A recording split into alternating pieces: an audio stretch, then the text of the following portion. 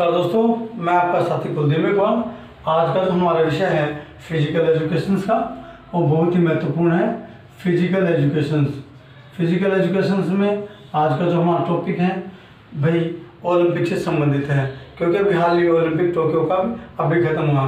तो सबसे पहले बात करते हैं ओलंपिक जो ध्वज है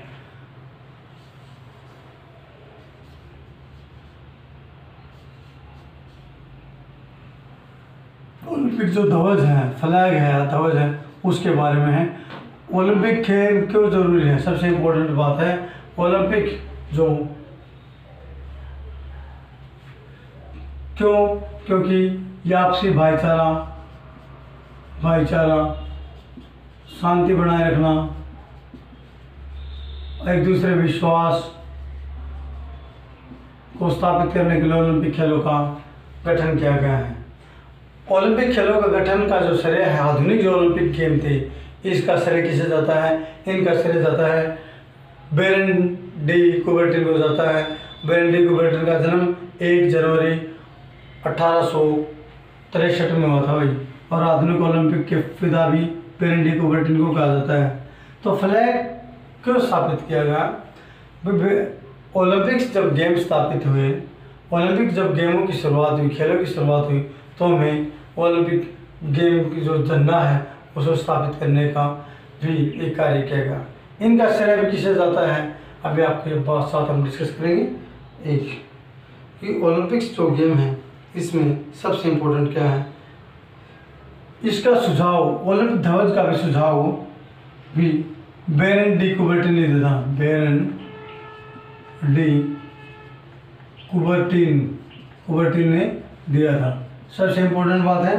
और कब दिया गया था? ओलंपिक झंडे का निर्माण किया गया था। भाई किसे ध्वज का जो निर्माण था? बेरेंटी कुबर्टिन को कहा गया था। सबसे पहले बात करते हैं 1913 में सबसे बात है ओलंपिक झंडे का निर्माण किया गया। ओलंपिक झंडे का का निर्माण किया गया। सबसे इम्पोर्टेंट बात है। अब बात करते हैं जून 1914 में। जून 1914 में इसका उद्घाटन किया गया।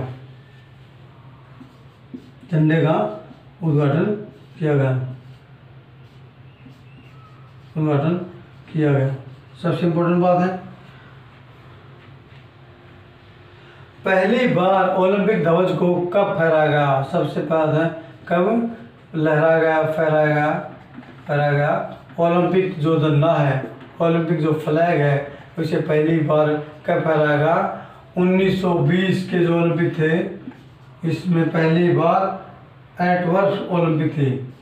एट वर्थ जो ओलंपिक थे, उसमें पहली बार ओलंपिक झंडे को फहराया गया था। सबसे इम्पोर्टेंट बात है कि ये इसका जो ओलंपिक जो झंडा है हमारा, सबसे इम्पोर्टेंट क्या है?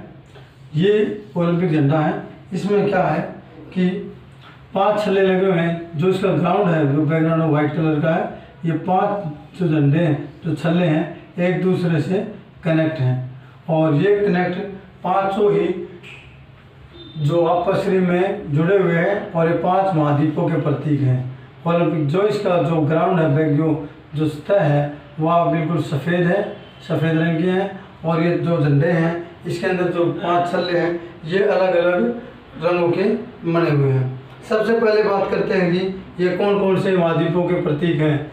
America, Europe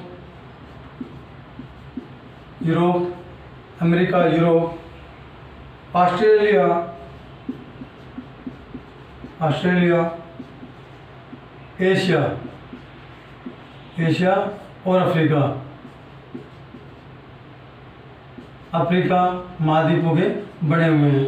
अब बात करते हैं, इनका रंग कैसा इन चलो का सबसे पहले रंग है पीला, हरा, लाल, नीला और काला। ये पाँच रंगों से ओलंपिक ध्वज बना हुआ है। और ये आपसी सहयोग के प्रतीक भाई।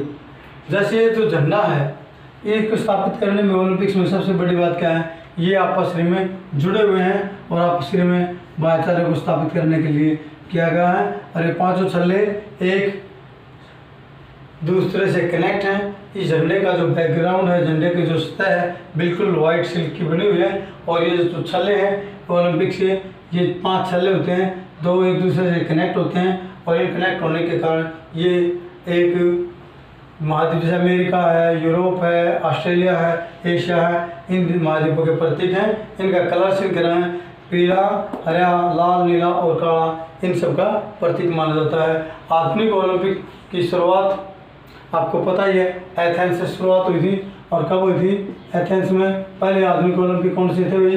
अठारह सौ छियानवे में स्थापित किए गए थे और पहला था वो, पहला और बत्तीसवा ओलंपिक्स कहाँ हुआ था टोक्यो में कहाँ हुआ था टोक्यो में और टोक्यो कब हुआ था 2021 में, ये था, इससे पहले टोक्यो ओलंपिक्स में कब स्थापित किए गए थे?